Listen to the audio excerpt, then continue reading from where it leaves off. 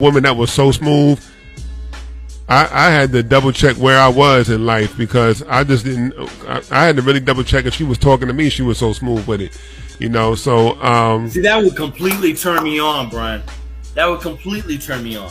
An assertive woman is is so attractive to me, and and if we had an ongoing relationship where we are probably both feeling the same way, because I don't think that she would take that leap of faith and and go against tradition and and drop to one knee or ask me for my hand in marriage uh, without knowing, without being certain, God, that would be just confirmation for me. I would, I would love that.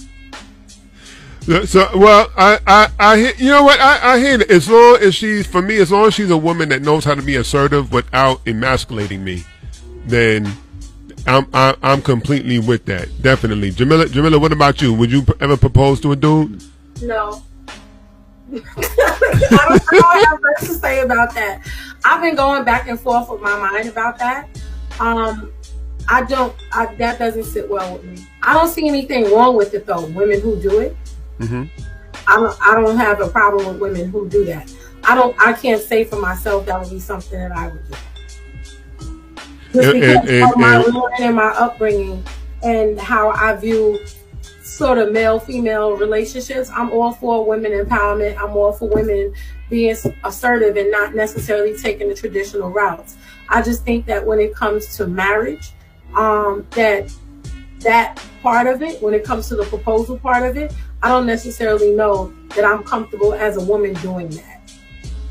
Got you. You know what bugs me, Brian, is when is when I'm dealing with women who pick and choose within traditionalism and, and and or what they expect to happen because of traditionalism.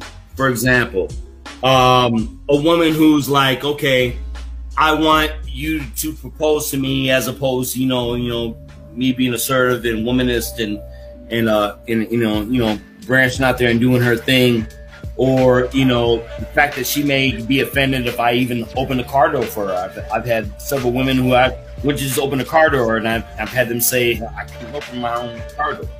But but at the same time, when it comes down to the naming of the child, they may want to uh, name the baby with, or give the baby the surname of her and her father's, or or you know just just the fine line between you know um, tradition and I guess just expectations about where everybody wants to happen.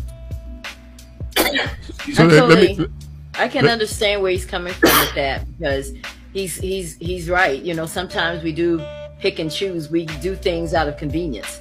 You know.